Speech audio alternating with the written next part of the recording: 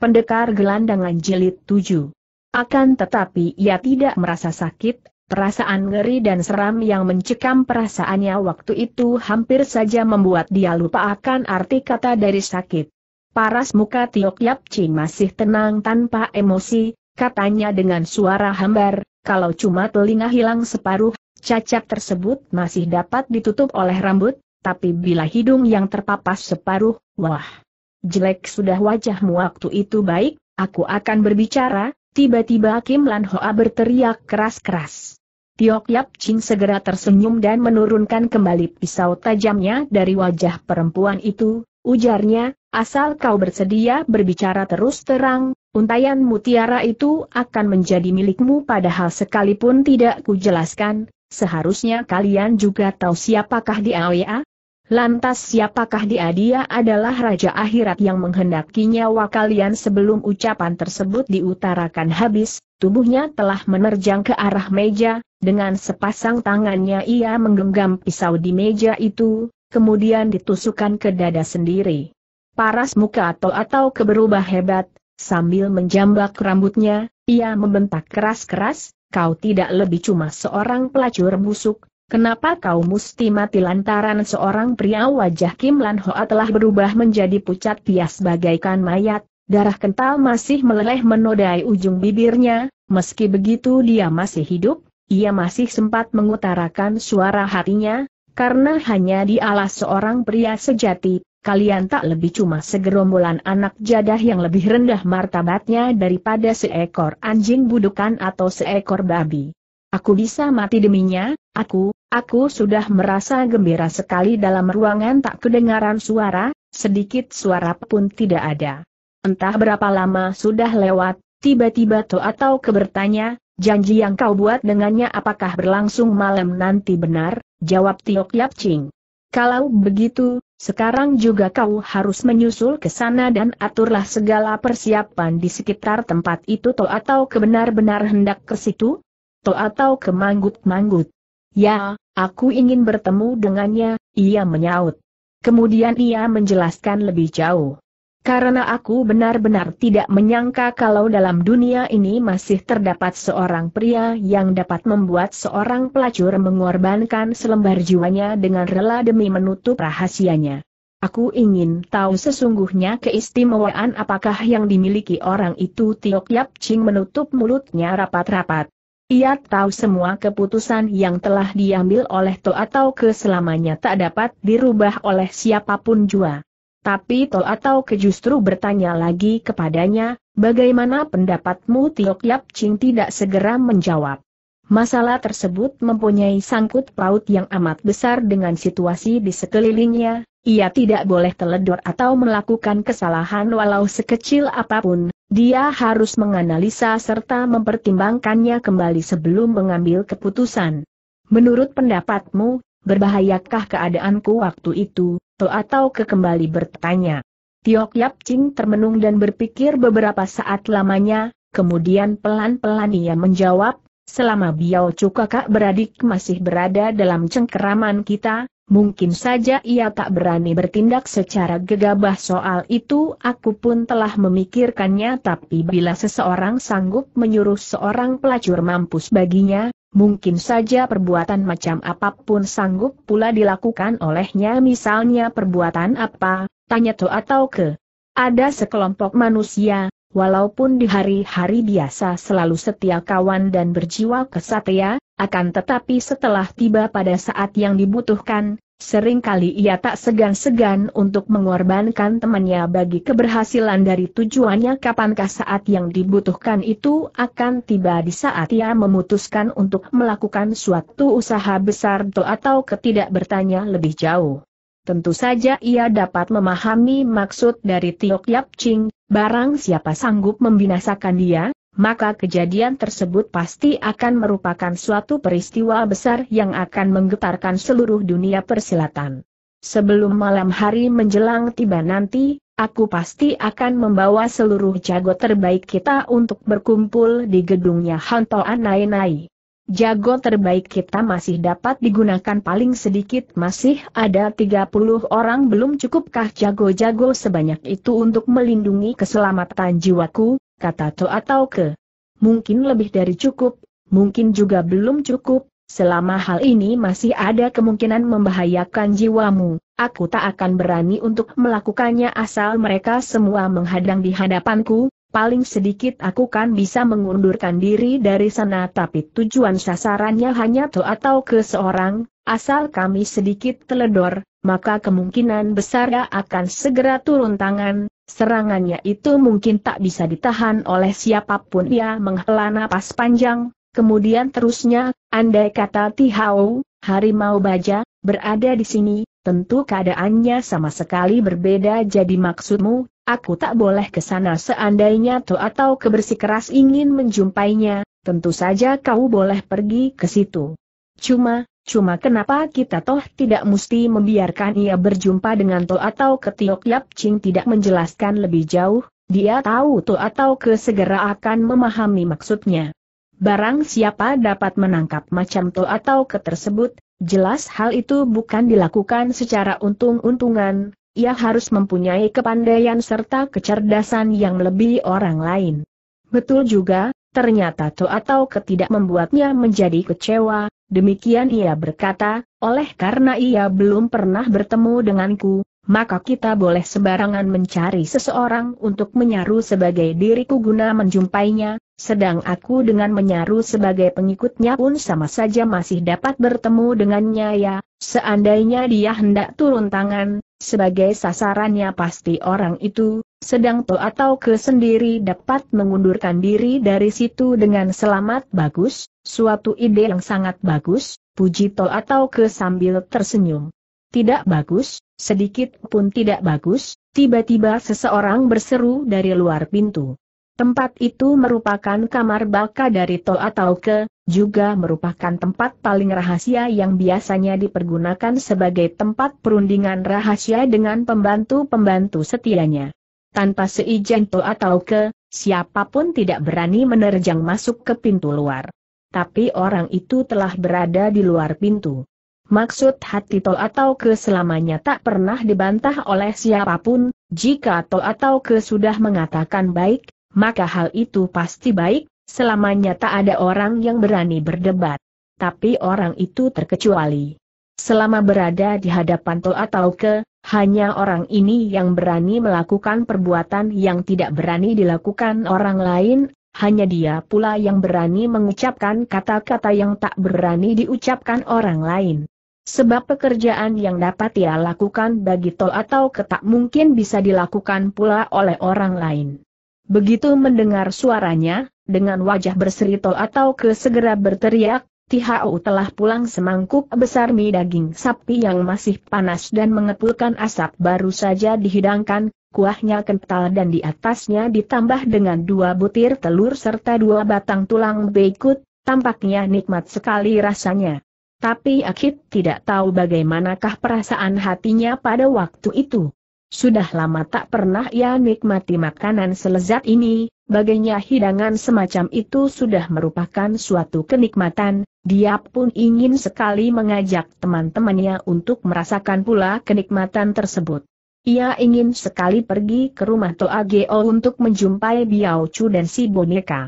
Akan tetapi ia tak berani menyerempet bahaya.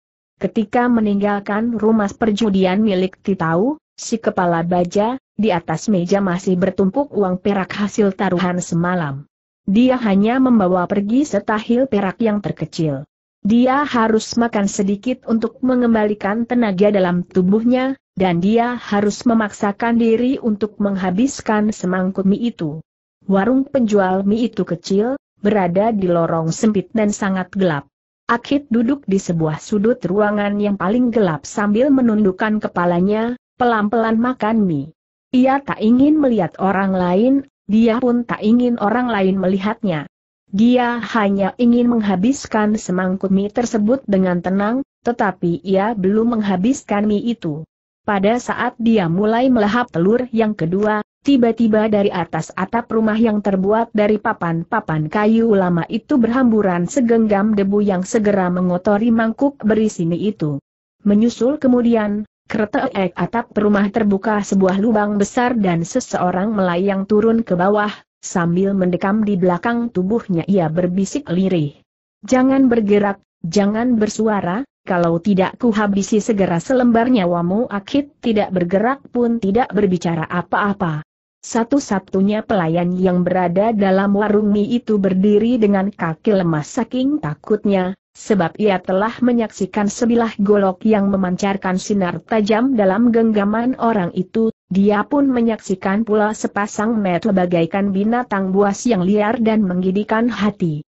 Ya, mata itu seperti mata binatang buas yang sedang diburu-buru oleh pemburu dan terpojok tak sanggup kabur lagi, sebab di balik sinar matanya yang liar terselip juga rasa ketakutan ngeri serta hawa pembunuhan yang menggidikan hati. Kau duduk, pelan-pelan duduk, perintah orang itu lagi kepada pelayan warung mie tersebut, berlagaklah seakan-akan tak pernah menyaksikan sesuatu apa pun pelayan segera duduk di atas sebuah bangku bobrok dan tak berani berkutik, sekujur badannya hampir lemas karena ketakutan. Orang itu lagi-lagi memberi perintah kepada Akik, lanjutkan makan mimu itu, makan sampai habis Akik melanjutkan kembali daharnya melahap mie sapi di hadapannya. Bakpao yang telah terjatuh ke dalam tinja pun dia makan, apalagi dalam mangkuk mie hanya kejatuhan abdu, sudah barang tentu ia lebih-lebih tak ambil peduli. Ia dapat merasakan ketegangan serta kengerian yang mencekam orang di belakangnya itu, entah apa yang sedang ditakuti orang itu. Tapi dia tak ingin tahu. Setelah menyaksikan laki-laki tinggi besar itu, sebagian besar orang yang berlalu lalang di atas jalan raya segera membungkukan badannya sambil menundukkan kepalanya rendah-rendah.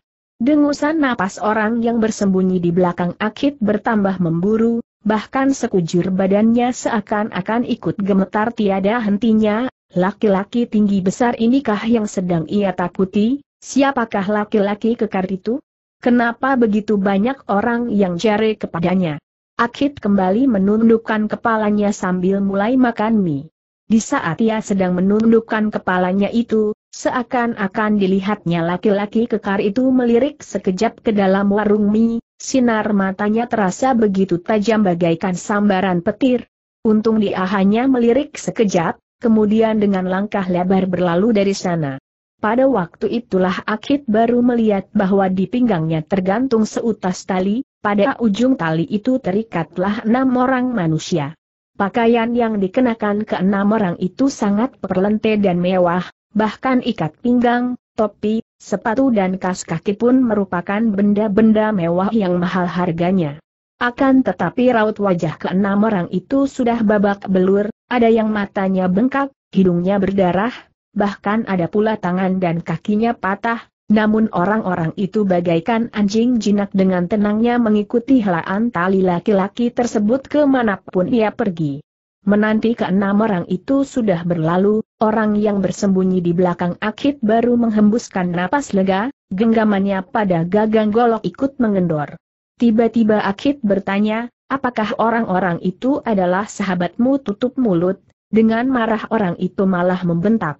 Akit tidak membungkam, sebaliknya malahan berkata lagi, kalau kau memang berhasil melarikan diri, Kenapa tidak kau tolong pularkan rekanmu itu? Belum habis ucapan tersebut diutarakan, Matt golok telah ditempelkan di atas tengkuknya, menyusul kemudian dengan marah orang itu mengancam, jika kau berani bersuara lagi, segera ku cabut selembar jiwamu. Belum lagi ucapannya itu selesai diucapkan, kembali ada seseorang menyambung dengan suara dingin, sekalipun kau tidak bersuara, Aku tetap menginginkan selembar jiwamu itu laki-laki tinggi besar yang tampak dengan jelas telah keluar dari pintu warung, tiba-tiba telah berjalan kembali, dan secara tiba-tiba ia telah berdiri di hadapan Akid.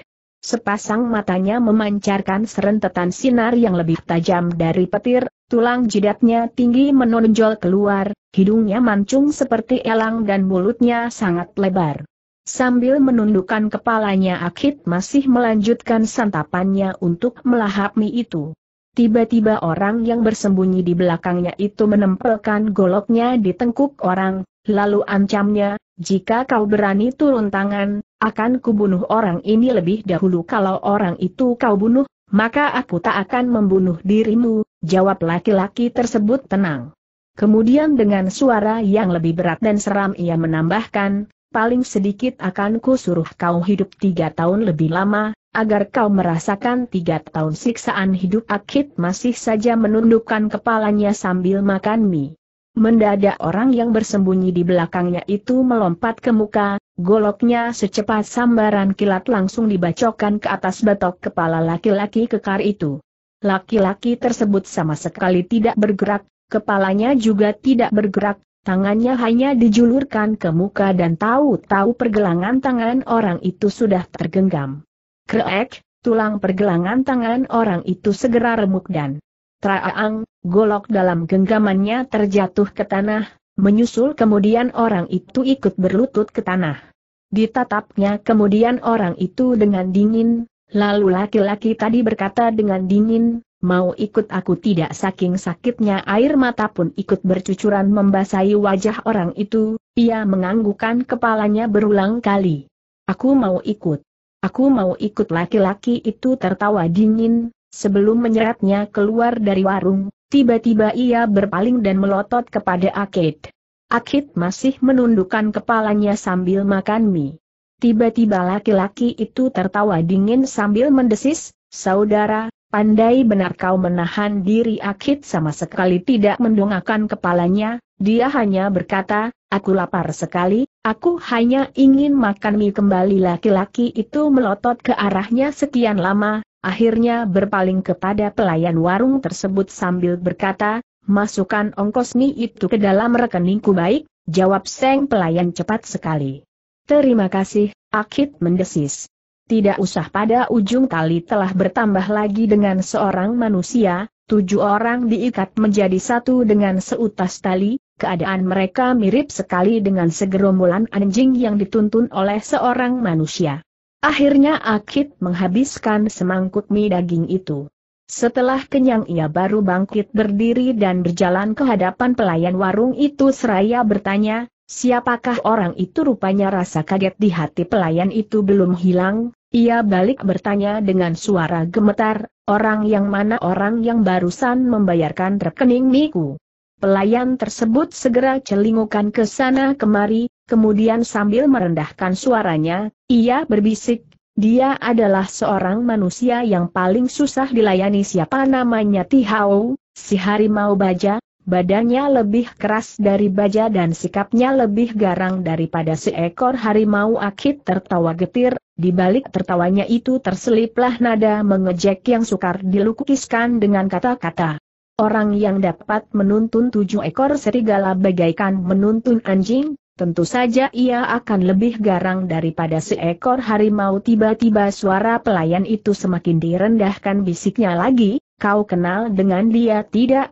Aku tidak kenal. Senyuman di ujung bibirnya berubah semakin aneh, pelan-pelan lanjutnya lebih jauh, tapi aku tahu, bahwa dengan cepat kami akan segera berkenalan Tihau telah pulang sekarang ia berdiri di hadapan To atau ke, meskipun pinggangnya ditekuk dalam-dalam namun sikapnya menunjukkan kesombongan serta rasa hormatnya yang tak mungkin dibuat-buat. Ia sombong karena dia telah menyelesaikan suatu pekerjaan besar bagi orang yang dihormatinya. Kau telah kembali jauh lebih awal daripada apa yang kami bayangkan semula, Demikian To atau keberkata. Ya, karena gerombolan serigala itu sesungguhnya bukan serigala, melainkan hanya anjing-anjing budukan, jawab harimau baja. To atau ke segera tersenyum. Selama berada di hadapanmu, sekalipun mereka benar-benar seekor serigala juga akan berubah menjadi seekor anjing Tihao ikut tertawa, ia bukan seorang manusia munafik, ia suka mendengarkan pujian orang lain, terlebih pujian dari To atau Kenya yang paling dihormati. Di manakah gerombolan anjing-anjing itu sekarang, kembali To atau ke bertanya.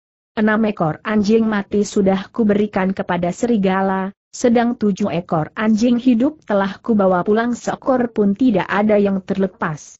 Sebenarnya di tengah jalan tadi ada seekor di antaranya yang hampir saja lolos, aku tidak menyangka kalau dalam celananya masih tersembunyi sebilah golok di manakah golok itu sekarang-sekarang golok itu sudah kutusukkan ke dalam lubang pantatnya atau keterbahak-bahak setelah mendengar perkataan itu.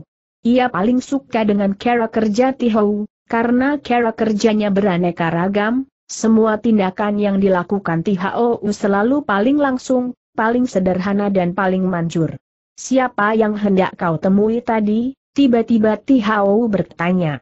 Dia bernama Akip Akip aku tahu nama tersebut pasti belum pernah kau dengar, sebab hakikatnya itu bukan nama aslinya, dan lagi ia paling suka kalau orang lain menganggapnya sebagai seorang manusia yang tak berguna. Padahal ia berguna sekali bukan saja berguna, bahkan mungkin saja sangat ternama, sebab sering kali ada sementara orang yang tak ingin orang lain menyebut nama aslinya lantaran nama tersebut terlampau ternama dalam dunia persilatan. THOU dapat memahami maksud ucapan tersebut, karena ia sendiri pun demikian, ia sudah puluhan tahun menyembunyikan nama aslinya. Sebenarnya kami telah berjanji akan berjumpa muka malam nanti, tapi Xiao Yap khawatir aku ketimpa musibah, kata To atau kelagi. Pihak segera tertawa dingin.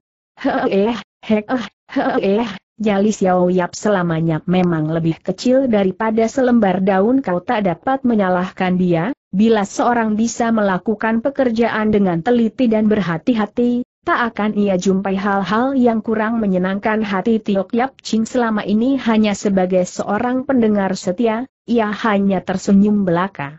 Menunggu THOU sudah tidak bersuara lagi, ia baru berkata, pada waktu itu mau tak mau aku harus bertindak lebih berhati-hati, sebab HOU to aku belum pulang kemari bagaimana sekarang, THO bertanya. Sekarang tentu saja berbeda ia masih saja tertawa, tapi suara tertawanya membuat orang yang mendengarkan menjadi tak enak badan, katanya lagi. Sekarang apabila to atau keingin bertemu dengan seseorang, asal HO Uto aku mau turun tangan, dengan segera orang itu berhasil ditangkapnya kau kira aku tidak sanggup, seru Tihau dengan mata mendelik. Kalau HO Uto aku sendiri pun tak sanggup, Lantas siapakah manusia di dunia ini yang sanggup melakukannya sepasang kepala Tihau telah menggenggam kencang. Kau sudah lelah, tiba-tiba To atau keberkata. Kepada Tiok Yap Ching kembali ujarnya, kini Tihau telah pulang, tak ada salahnya kalau kau pulang dulu dan tidurlah barang dua jam baik seandainya di atas pembaringanmu ada orang sedang menunggumu untuk menemani kau tidur, kau pun tak usah kaget, lebih-lebih lagi tak usah sungkan-sungkan baik tidak terbatas siapa pun orang itu baik Tiok Yap Ching segera mengundurkan diri, ia tidak bertanya siapakah orang itu, dia pun tidak menanyakan yang lain. Setiap ucapan to atau keselamanya ia hanya menuruti tanpa membantah, ia pun tak pernah banyak bertanya. Hingga Tiok Yap Ching keluar dari pintu ruangan, Tihao masih mendelik arahnya, Sepasang kepalanya masih tergenggam kencang-kencang sehingga otot-otot hijaunya pada menonjol keluar, biji matanya ikut berputar dengan liar. Sebagian besar orang yang kebetulan menyaksikan biji matanya berkeliaran liar, biasanya mereka akan menyingkir jauh-jauh, bahkan semakin jauh semakin baik. To atau ke mengawasi biji matanya yang berkeliaran itu tajam-tajam, tiba-tiba ia bertanya, sudah berapa lama kau mengikuti aku? Lima tahun belum? Belum lima tahun? Yang tepat adalah empat tahun sembilan bulan dua puluh empat hari. Biji metu, Tihau tidak jelalatan lagi, sinar kagum dan hormat segera memancar keluar dari balik matanya, ia tak menyangka kalau to atau kedapat mengingat-ingat segala persoalan kecil itu. Sedemikian jelasnya, biasanya orang yang memiliki daya ingatan yang bagus, selalu akan mendatangkan perasaan kagum dan hormat bagi orang lain. To atau kekembali bertanya, tahukah kau sudah berapa lama Xiao Yap mengikuti diriku? Ia jauh lebih lama daripada ku benar, ia sudah enam tahun mengikuti aku, tepatnya enam tahun tiga bulan tiga belas hari Tihau tidak berani bersuara. Kembali To atau kebertanya, Selama kau mengikuti diriku, sudah 47 laksa uang perak yang kau hamburkan dan 79 orang perempuan yang kau cicipi, tapi dia Tihau tidak tahu. Aku telah memberitahu kepada kasir, bahwa berapapun yang kalian berdua gunakan, aku akan melayani terus, tapi dalam enam tahun ini seluruhnya dia hanya menggunakan uang sebesar 3.000 tahil perak Tihau si harimau baja berusaha menekan sabar, tapi akhirnya meledak juga kesabarannya itu, dia berseru, maklumlah tahu ke, ada orang yang pandai menghamburkan uang, tapi ada pula yang tidak mampu dia pun tidak mempunyai perempuan, kembali to atau keberkata. Tihau kembali bersabar agak lama, toh akhirnya ia tak tahan juga, kembali serunya, siapa tahu kalau hal ini disebabkan dia pada hakikatnya bukan seorang pria jantan akan tetapi pekerjaan yang ia lakukan bagiku tidak bisa dikatakan lebih sedikit dari apa yang telah kau kerjakan untuk Tihau tak mau mengakuinya, tapi dia pun tak berani menyangkal. Kembali to atau keberkata, pekerjaan yang ia lakukan bagiku bukan termasuk pekerjaan yang dapat mengangkat nama atau mempopulerkan nama baiknya, dia tak suka uang dan tak mau main perempuan pula. Coba pikirlah apa yang ia tuju selama ini THO lebih-lebih tak berani membuka suara. Kecuali nama, kekayaan dan perempuan, masih ada perbuatan apa lagi di dunia ini yang bisa menggerakkan perasaan seorang pria, tanya to atau kelebih lanjut. Tihao mengetahuinya, tapi ia tak berani mengutarakannya keluar. Itulah kekuasaan, akhirnya To atau ke mengucapkannya sendiri. Apabila seorang pria telah berhasil memegang tampuk kekuasaan, apa pun yang diinginkan dapat segera diperoleh, apalagi yang merisaukan hatinya. Apa pun tidak ia inginkan, kata To atau ke lagi, siapa tahu karena dia hanya mengincar kedudukanku ini mencorong sinar tajam dari balik mata, Tihau, katanya, asal to atau ke mengucapkan sepatah kata, setiap saat aku dapat membekuk batang leher keparat itu kau yakin sanggup membekuk batang lehernya aku, aku tahu akan kepandaian silatmu, aku pun tahu banyak orang kenamaan yang pernah keok di tanganmu selama ini, kata to atau ke. Tihau tidak menyangkal, ia pun tidak menunjukkan perasaan puasnya. Selama enam tahun ini, belum pernah kuutus Xiao Yap untuk turut serta dalam suatu gerakan atau suatu operasi, karena aku sendiri pun selalu menganggap bahwa ia adalah seorang manusia yang tidak memiliki kepandaian silat, ucap to atau kemenyengir. Pada dasarnya ia memang tidak memiliki kepandaian apa-apa keliru. Keliru. Kau keliru, aku pun keliru oh ya, si macan baja kurang percaya. Ya, hingga hari ini aku baru tahu bahwa dia pun seorang jago silat kelas satu jago silat macam apakah dia itu, tidak tahan THOU bertanya, to atau ke pernah menyaksikan ia mempergunakan goloknya ya, hari ini aku baru menyaksikan sendiri, kepandaiannya mempergunakan golok jauh lebih bagus dari kepandaian golok mana pun yang pernah kujumpai selama ini, metu golok baru saja berkelebat, Separuh telinga Kim Lan Hoa telah tersayat kutung menjadi dua. Bukan cuma cepat saja gerakan goloknya, lagi pula sangat tepat dan mantap, tapi hingga kini dia selalu menyembunyikan kepandaian lihainya itu, mungkin saja hingga kini dia masih menganggap aku tidak mengetahuinya sesudah tersenyum, kembali ujarnya, tapi dia pun keliru besar, sekalipun aku tak pernah makan daging babi, paling tidak aku toh pernah menyaksikan babi yang sedang berjalan senyumannya masih begitu tenang, begitu santai, seolah-olah tak pernah terjadi sesuatu apa pun. Tihao mulai gusar, agak kesal ia setelah mendengar kata-kata tersebut, katanya kemudian, aku bukannya tak pernah bertemu dengan orang yang pandai mempergunakan golok. Aku tahu jago-jago lihai yang berasal dari Go Hao Utoan Buntu, golok sakti panca harimau pemutus nyawa, Ban Sin Tu, Jit Chiao Tu dan Tai Heng Kuai Tu, semuanya pernah keok di tanganmu, paling tidak jumlahnya telah mencapai 2-30 orang lebih. Ya, termasuk Long Tu, golok serigala terbang, Kang Tiong yang kubekuk hari ini, Jumlahnya persis mencapai 30 orang. Aku pun tahu bahwa kau pasti masih sanggup untuk melenyapkan dari muka bumi setiap waktu. Setiap saat aku sanggup melaksanakan tugas ini tapi sekarang masih belum perlu. Mengapa? Sebab aku tahu paling tidak hingga kini ia masih belum berniat untuk mengkhianati diriku. Bila harus menunggu sampai to atau ke mengetahui hal ini, aku khawatir waktu itu keadaan sudah terlalu lambat. Tidak, tidak mungkin terlalu terlambat. Kenapa? Sebab dia pun seorang pria, bagaimanapun macam pria tersebut, biasanya ia tak akan sanggup menyimpan rahasia hatinya. Apabila berada di hadapan perempuan yang disukainya di atas meja kecil terletak sebuah pot bunga, dalam pot ada beberapa kuntum bunga, dipetiknya sekuntum lalu diciumnya sebentar, kemudian katanya kembali, jika perempuan itu cukup pintar, dan lagi sering kali berada di sisi pembaringannya, maka sekalipun tidak ia katakan, perempuan itu pun akan mengetahuinya juga masa ada perempuan yang disukainya. Tentu saja ada siapa Kiling To atau ketahu bahwa Tihao pasti tidak kenal siapakah Kiling tersebut, maka ia menjelaskan lebih jauh, Kiling adalah perempuan yang mempunyai tahi lalat pada ujung bibirnya dan ku bawa pulang dari Chen Hui itu. Tihao memang bukan termasuk orang bodoh, ia segera paham, oh, dan dia pula perempuan yang sedang menantinya tidur pada malam nanti di atas pembaringannya to atau ketersenyum, ia tahu dia telah membuat Tihao memahami dua persoalan,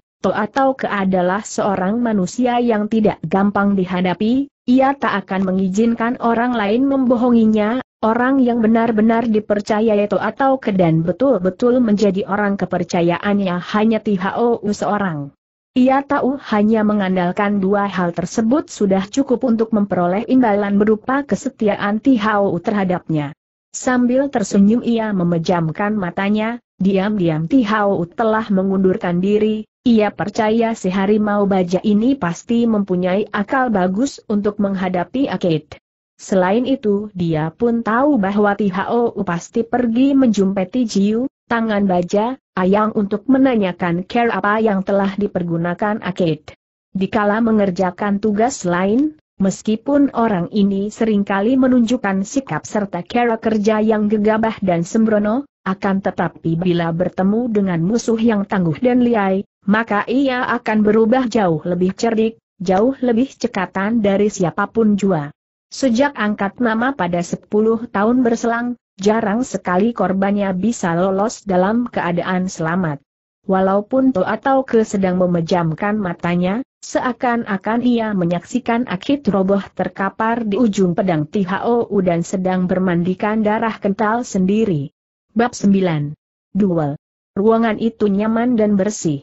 To atau ketak pernah menelantarkan atau mencemooh anak buahnya, Ayang pun belum kehilangan nilai keseluruhan dari kepentingannya untuk melaksanakan suatu tugas. Hanya saja tangannya masih dibalut, apalagi sakitnya setengah mati.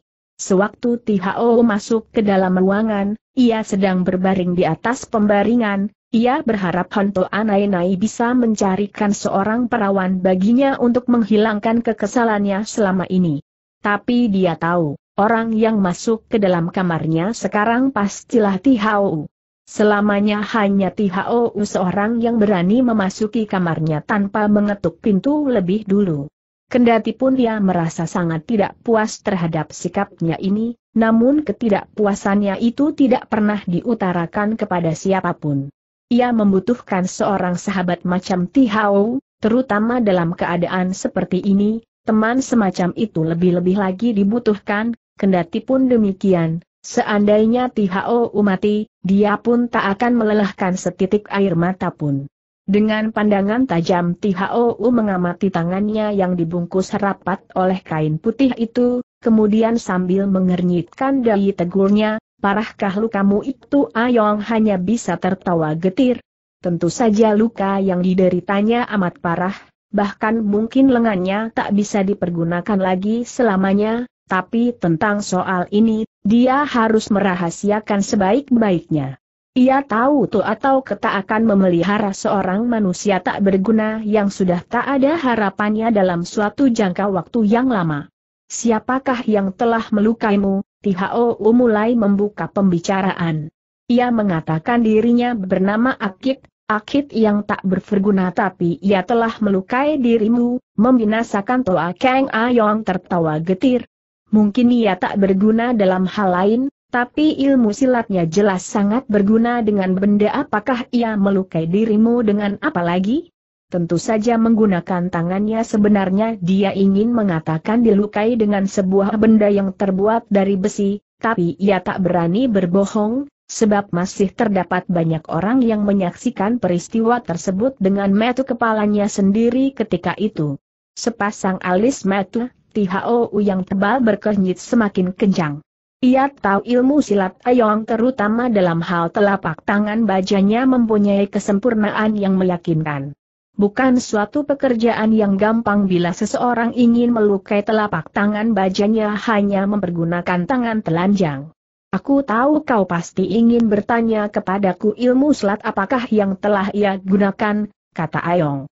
Tihao mengakuinya, sebab ia memang bukan datang untuk menjenguk si sakit. Sayang aku sendiri pun tidak tahu, ilmu silat dari aliran manakah yang telah ia pergunakan? Hawa gusar memancar keluar lewat sorot mata, Tihao, katanya, sudah hampir dua tiga puluh tahun kau melatih ilmu silatmu, tidak sedikit pula manusia yang telah kau bunuh, selama dalam dunia persilatan reputasimu cukup baik, tapi sekarang orang lain telah menghajarmu sedemikian rupa, sebaliknya kau malah tidak tahu dengan ilmu silat apakah orang melukai dirimu serangannya terlampau cepat, hingga sulit diikuti dengan pandangan mata, keluh Ayang. Tihau tertawa dingin, Tiba-tiba ia mencengkeram tangan Ayong yang terluka dan melepaskan kain pembalut tangannya itu. Hei, mau apa kau? Ayang segera menegur dengan paras muka berubah hebat. Aku ingin memeriksanya Ayong segera tertawa paksa. Sebuah lengan yang sudah rusak, masa ada yang menarik untuk dilihat, katanya. Ada menurut tabib dari Ciang Potong, mereka telah membalutkan tanganku ini sebaik-baiknya, ia minta kepadaku agar dalam dua hari ini jangan sekali-kali menyentuhnya ah, ah, ah. Telur busuk maknya, dan perati hau. Terpaksa Ayang menutup kembali mulutnya, sebab kain pembalut yang membalut tangannya kini sudah terlepas semua. Menyaksikan telapak tangannya itu, paras muka Tihao ikut berubah hebat. Telapak tangan baja yang pernah dilatih selama hampir 20 tahun, kini boleh dibilang sudah hancur remuk dan tak ketolongan lagi. Tangan itu jelas dihancurkan dengan hanya menggunakan tiga batang jari tangan, sebab pada punggung tangannya masih tertinggal tiga bekas jari tangan yang berwarna semu hitam. Ilmu silat apakah yang sesungguhnya dilatih oleh akid yang tak berguna? Tiba-tiba Tihao menghela napas panjang, ujarnya, bagaimanapun juga, kita masih terhitung bersahabat ya, Sejak dulu sampai sekarang kita memang bersahabat, Ayang menimpali sambil tertawa paksa. Sebab itu kau tak usah khawatir, aku tak akan memberitahukan peristiwa ini kepada siapa pun peristiwa apa, suara tertawa Ayong kedengaran makin dipaksakan. Sejak kini tanganmu sudah cacat seumur hidup dan tak bisa dipakai lagi, senyuman Ayong segera membeku, kelopak matanya menyusut dan wajah-wajahnya berubah menjadi pucat pias. Sayangnya, sekalipun aku telah merahasiakan peristiwa ini bagimu, cepat atau lambat atau atau ke pasti akan mengetahuinya juga, sebab itu, lebih baik susunlah rencana baru untuk menghadapi kehidupanmu di masa mendatang Ayong tertunduk lemas, tiba-tiba ia berteriak dengan suara lantang, Aku masih tetap dapat membunuh orang bagi tol atau ke walaupun hanya mempergunakan tangan sebelah Tihau tertawa dingin. Membunuh manusia macam apa? Membunuh manusia yang lebih tak berguna daripada dirimu dari sakunya dia ambil keluar setumpuk uang kertas, lalu tanpa dihitung lagi diangsurkan ke hadapan Ayang. Katanya, cepat atau lambat uang ini pasti kau butuhkan, baik-baiklah kau simpan dan tak usah digunakan terlalu royal. Selesai mengucapkan kata-kata itu, tanpa berpaling lagi ia keluar dari ruangan tersebut. Ketika Tiok Yap Ching masuk ke ruangan, uang kertas itu masih tergeletak di atas pembaringan. Ayang masih memandang tumpukan uang kertas itu dengan mata mendrong dan wajah termangu. Aku datang khusus untuk menengok keadaan penyakitmu, kata Tiok Yap Ching dengan lembut, secara kebetulan juga kudengar pembicaraan kalian kau telah mendengarnya? Itu memang lebih baik bagaimanapun juga ia memang masih cukup baik sikapnya kepadamu, Tiok Yap Ching menambahkan. Ya, ia memang bersikap baik kepadaku, bahkan baik sekali, maka dia suruh aku menyimpan baik-baik tumpukan uangnya itu tiba-tiba ia tertawa tergelak, Haa, haa, haa, disimpan untuk apa? Memangnya aku akan pergunakan sedikit uang busuknya itu untuk berdagang kecil-kecilan? Atau membuka sebuah kedai kecil penjual daging sapi seperti orang gila ia tertawa terbahak-bahak, tiba-tiba disambarnya uang di pembaringan itu dan dibantingnya keras-keras di atas tanah. Kemudian ia menjatuhkan diri ke atas pembaringan dan menangis terseduh-seduh.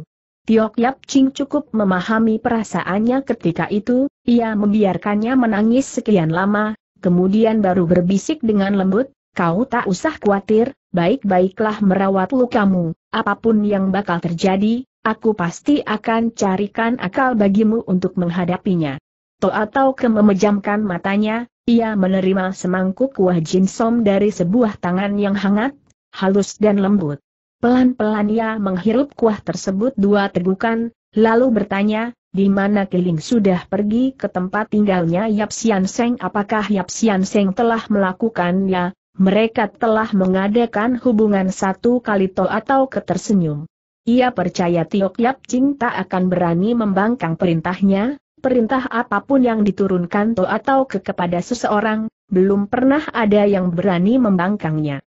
Maka To atau kekembali bertanya, di mana Tihao ia sedang keluar tidak bilang mau ke mana katanya dia akan menengok Ayang. Tapi sekarang mungkin ia sedang menuju ke gedungnya Hanto Anai Naito atau ke mengerutkan dahinya, tapi dengan cepat ia mengerti maksud dan tujuannya melakukan tindakan tersebut.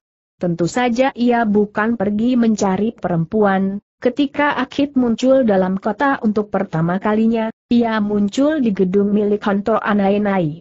Untuk menyelidiki asal-usul Akit, tentu saja ia harus mencari Honto Anainai, sebab paling tidak apa yang diketahuinya tentang Akit akan jauh lebih banyak bila dibandingkan orang lain. Ia biasa berpikir sampai ke situ, hal ini membuktikan bahwa persiapan yang dilakukan THO jauh lebih teliti dan sempurna dibandingkan sebelumnya. Maka tertawa atau kepun jauh lebih cerah, jauh lebih riang. Sekarang setiap persoalan telah berada di bawah pengaruhnya, setiap orang telah berada dalam cengkeramannya. Peduli siapa pun yang berani mengganggunya, peduli siapa pun berani membohonginya, Jangan harap mereka dapat lolos dari hukumannya. Hukuman yang ia jatuhkan selamanya adil, tapi cukup mengerikan.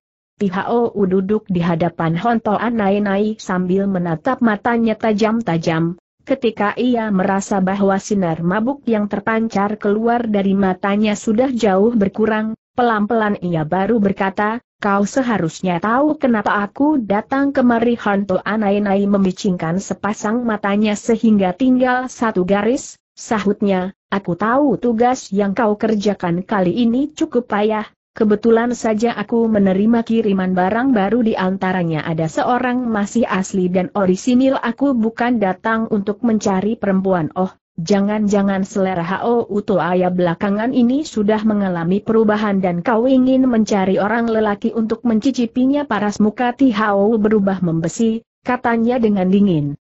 Jika kau masih mabuk, aku mempunyai care untuk membuatmu menjadi sadar kembali senyuman yang menghiasi ujung bibir Hanto Anai-Nai segera berubah membeku.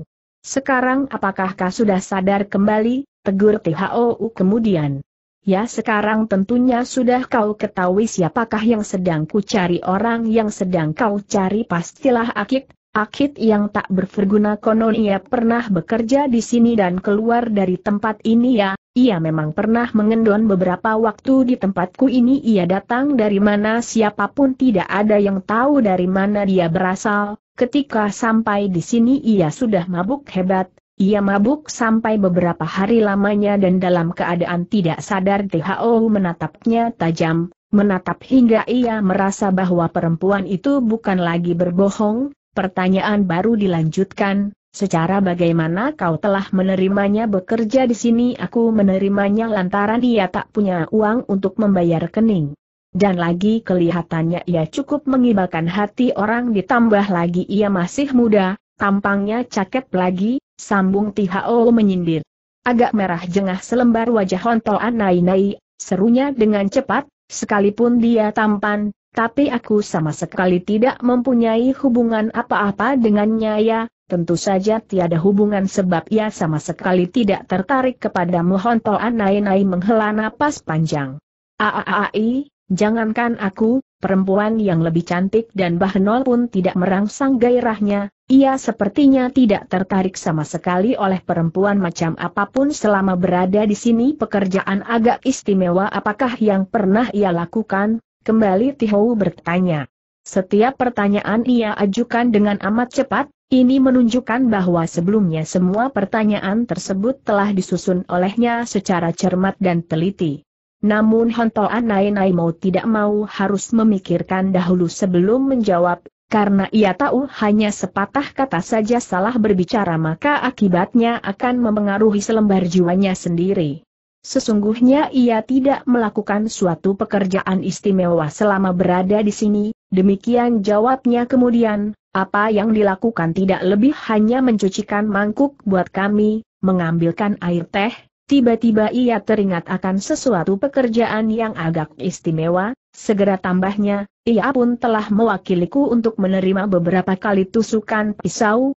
Siapa yang melakukan tusukan tersebut agaknya saudara cilik dari si kusir kereta akit telah membunuh mereka. Tidak, ia sama sekali tidak melancarkan serangan balasan. Tiba-tiba kelopak mata, Tihao menyusut menjadi kecil sekali, serunya tertahan, masa ia hanya berdiri belaka sambil menerima tusukan-tusukan pisau setan cilik itu ya, jangankan membalas, bergerak sedikit pun tidak biji mata, Tihao mulai melompat. Dikala biji matanya sedang melompat, bukan berarti dia hendak membunuh manusia, Kadangkala hal ini merupakan pertanda jelek bagi dirinya sendiri. Ia dibesarkan dari lingkungan yang miskin dan serba kekurangan, semenjak kecil ia sudah berkeliaran di antara kaum berandal dan pencoleng-pencoleng kota, tentu saja ia pernah merasakan tusukan pisau orang. Sebelum ia merasakan tusukan yang pertama, biji matanya telah melompat pula seperti kali ini karena waktu itu dia telah berani menantang Lotoa yang berkuasa di wilayah tersebut, ia tahu bahwa dirinya akan berhadapan dengan seorang musuh tangguh yang sangat menakutkan. Kini lompatan biji matanya hampir sama seperti lompatan yang pernah dirasakan ketika itu, sebenarnya manusia macam apakah yang akan dihadapinya kali ini, dia adalah seorang jago tangguh yang sanggup mengetuk hancur telapak tangan Baja Ayong dengan ketiga buah jari tangannya, tapi mengapa dia hanya berdiri di sana saja untuk menerima tusukan-tusukan pisau dari setan-setan cilik itu, kenapa ia harus merasakan penderitaan, penghinaan serta rasa malu yang sesungguhnya tak usah ia rasakan?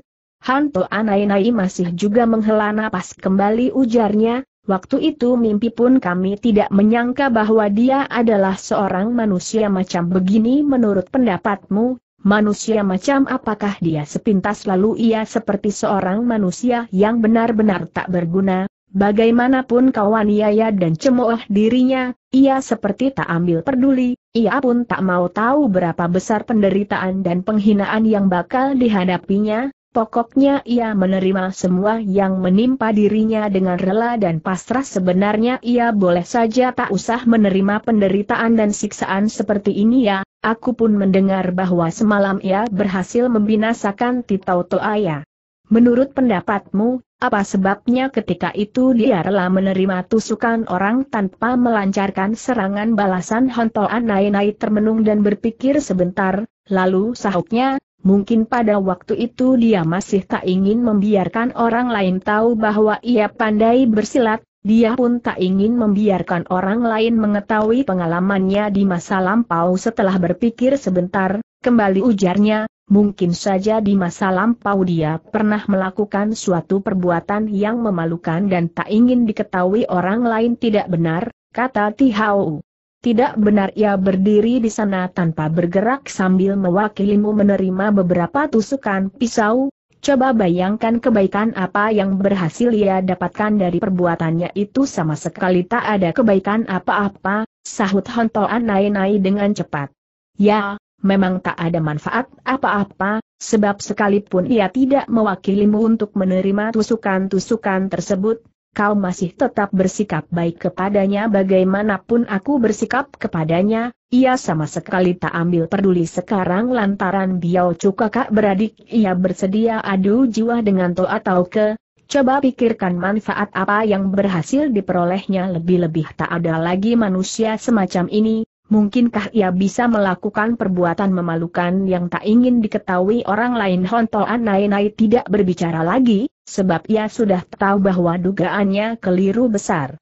Ia bisa berbuat demikian pasti lantaran pernah mendapat pukulan batin yang cukup berat, pukulan batin tersebut membuat pandangannya terhadap segala persoalan menjadi berubah, ia menjadi putus asa dan kecewa, sehingga dengan hati rela menerima semua penderitaan, semua penghinaan serta cemoohan yang dilimpahkan atas dirinya, dia pun pasti berbuat demikian lantaran keluarganya atau namanya terlampau termasyhur. Sekarang lantaran ia telah berubah menjadi begini, maka ia tak akan membiarkan orang lain mengetahui masa silamnya perkataan tersebut bukan ia ucapkan untuk didengar Hanto Anainai, Sebaliknya tak lain sedang memberi keterangan dan analisa pada diri sendiri tentang manusia yang bernama Akid. Kendati begitu Honto Anai-Nai telah mendengar semua perkataan itu dengan jelas. Ia selalu menganggap THOU sebagai seorang manusia yang garang, ganas dan berangasan, belum pernah ia jumpai sikapnya setenang hari ini, lebih-lebih tak disangka olehnya kalau ia dapat berpikir secermat dan seteliti sekarang ini. Sudah banyak tahun ia kenal dengan manusia yang bernama Tihao ini, tapi hingga sekarang dia baru merasakan bahwa dia masih mempunyai raut wajah lain. Kebengisan serta keberangasannya mungkin hanya sejenis tameng, sejenis pelindung yang melindungi watak serta karakter yang sebenarnya, agar orang lain tak dapat mengetahui kecerdasan dan kenekatannya dalam menghadapi setiap persoalan agar orang lain tidak berjaga-jaga terhadap dirinya. Menyaksikan wajahnya yang tenang serta sepasang matanya yang tajam bagaikan sembilu, tiba-tiba Hanto Anai-Nai merasakan suatu kengerian dan keseraman yang sukar dilukiskan dengan kata-kata. Bahkan secara diam-diam ia mulai merasakan khawatir bagi keselamatan jiwa manusia yang bernama Akid. Terlepas manusia macam apakah Akid itu, tapi yang pasti musuh tangguh yang dihadapinya sekarang jelas jauh lebih menakutkan daripada apa yang diduganya semula.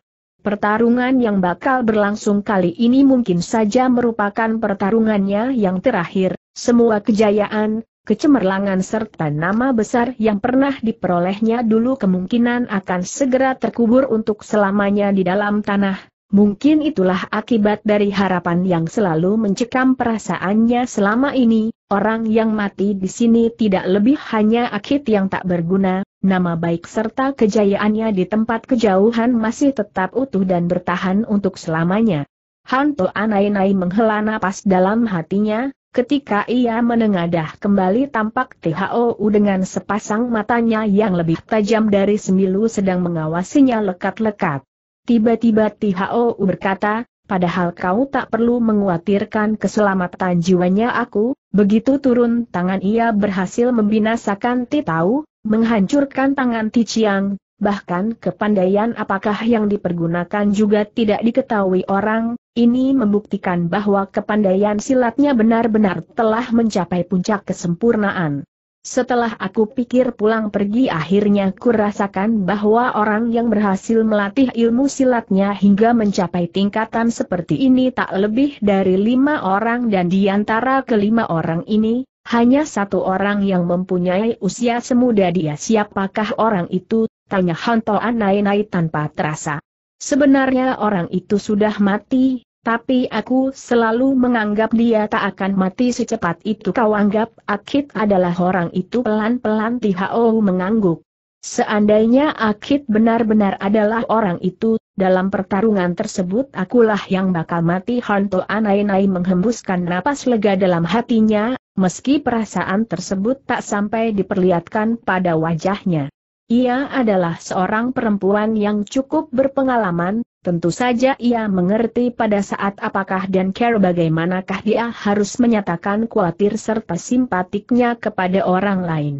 Pelan-pelan ia menggenggam tangan Tihau, lalu katanya dengan lembut, kalau sudah tahu demikian, kenapa kau mesti menjual nyawamu demi kepentingan orang lain? Kenapa kau harus pergi mencarinya? Tihao menundukkan kepalanya memandang tangan Honto Anai-Nai yang gemuk dan penuh gajih itu, lalu sahutnya lirih, aku belum tentu harus pergi ke situ kali ini Honto Anai-Nai benar-benar dapat menghembuskan napas lega. Kedengaran Tihao berkata lebih jauh, meskipun aku tidak pergi, tapi ada seseorang lain yang harus pergi ke sana siapakah orang itu kau Hanto Anai-Nai kelihatan amat terkejut. Kau suruh aku pergi mencari Akit ya, kau harus membawanya menjumpaiku Hanto Anai-Nai ingin tertawa paksa, tapi ia tak mampu tertawa. Dari mana aku bisa tahu saat ini dia berada di mana, katanya dengan jantung berdebar keras. Seperti macu elang Tihao menatapnya dengan dingin dan menyeramkan, Sejenak kemudian baru ujarnya lagi, kau pasti mengetahuinya, sebab pada saat ini hanya ada satu tempat yang bisa ia datangi. Tempat manakah itu di sini? Kenapa dia pasti dapat datang kemari? Karena ia telah berjanji dengan To atau ke bahwa malam ini akan berjumpa di tempat ini, tentu saja dia akan datang lebih dulu kemari untuk melihat keadaan di sini, dia harus tahu perangkap dan jebakan apakah yang telah disiapkan To atau ke di sini menyusul kemudian kembali ujarnya, dalam kota ini hanya tempat ini merupakan tempat yang paling dikenal olehnya, aku lihat setiap orang pun menaruh kesan yang cukup baik kepadanya. Ia bisa mencari sembarangan tempat untuk menyembunyikan diri, orangnya To atau ke pasti tak akan menemukannya, sebab kalau aku, mungkin saja aku pun dapat berbuat demikian. Hanto Anai-Nai menghela napas panjang. Aaaaii, sayang dia bukan Hao Uto Aya, ia tidak secermat dan seteliti Hao Uto Aya, jadi belum tentu dia akan berbuat demikian Ti Hao tertawa dingin. Hao Uto Aya, jika kau tidak percaya, silahkan mengadakan penggeledahan sendiri di seluruh gedungku ini, kata Hanto Anai-Nai. Ia tertawa paksa, lalu terusnya, bukankah Ho Uto Ayah juga hafal sekali dengan gedung ini? Tho menatapnya tajam-tajam, selang sesaat kemudian tegurnya, ia benar-benar tidak datang kemari seandainya ia telah datang, masa aku tidak tahu sekali lagi Tho menatapnya lama sekali, tiba-tiba ia bangkit berdiri, lalu dengan langkah lebar berlalu dari situ. Seng Surya telah condong ke langit barat. Hanto Anai-Nai duduk seorang diri di situ sambil termangu-mangu, hingga ia merasa yakin kalau Tho sudah jauh meninggalkan tempat itu. Pelan-pelan dia baru bangkit berdiri, menghela napas dan bergumam seorang diri, Akit wahai Akit, sebenarnya siapakah kau? Masih belum cukupkah kesulitan yang kau cari buat dirimu sendiri? Kenapa kau masih mencarikan begini banyak kesulitan bagi orang lain di belakang dapur terdapat sebuah rumah kayu kecil dan bobrok, dalam rumah kayu itu hanya terdapat sebuah pembaringan, sebuah meja dan sebuah kursi. Inilah rumah tinggal si Koki yang bisu, meskipun kotor dan sempit, baginya sudah merupakan sebuah sorga loka yang nyaman. Setelah bekerja keras seharian penuh, di tempat inilah mereka akan berbaring dengan tenang dan tenteram serta melakukan pekerjaan yang mereka inginkan. Di atas pembaringan itulah mereka telah lewatkan masa penghidupan yang paling manis, paling indah dan paling syahdu. Sekalipun suaminya jelek dan kasar, sekalipun istrinya ceking dan kecil, akan tetapi mereka dapat memberikan kegembiraan dan kepuasan bagi lawan jenisnya, Sebab mereka tahu hanya dengan berbuat demikianlah mereka baru dapat meraih kebahagiaan yang didambakan. Apa yang mereka miliki akan mereka nikmati pula sepuas mungkin. Terhadap penghidupan mereka yang serba pas-pasan dan sederhana, mereka pun merasa sangat puas. Sekarang mereka suami istri berdua duduk di atas pembaringan mereka, sepasang tangannya yang berada di atas meja saling menggenggam dengan kencangnya. Memandang kemesraan mereka berdua, Akid menghela napas panjang dalam hatinya, kenapa aku selalu tak dapat merasakan penghidupan yang tenang dan penuh kedamaian seperti yang mereka alami? Di atas meja tersedia tiga piring hidangan kecil, di situ pun tersedia poci berisi arak. Ketika si bisu menuding poci arak, istrinya lantas menjelaskan, arak itu bukan arak baik, tapi benar-benar arak asli, si bisu tahu kalau kau paling suka minum arak akit tidak berbicara. Tenggorokannya seakan-akan telah tersumbat, dia tahu penghidupan yang mereka lewatkan sudah cukup payah dan menderita untuk memperoleh dua poci arak ini, mungkin mereka harus mengorbankan satu setel mantel dingin yang dimilikinya. Ia sangat berterima kasih atas maksud baik mereka terhadapnya, tapi hari ini ia tak boleh minum arak, setetes arak pun tak boleh membasahi bibirnya. Ia cukup memahami keadaan sendiri, asal ia mulai minum arak maka tak akan berhenti sebelum ia benar-benar mabuk.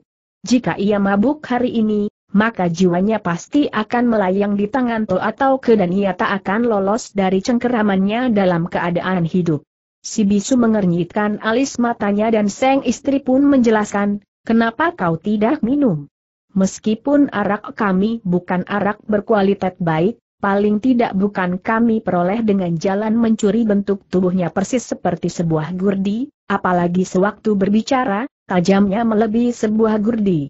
Akit tidak menjadi marah atau tak senang hati, karena ditahu perempuan itu seperti pula suaminya mempunyai sebuah hati yang hangat dan penuh kasih sayang.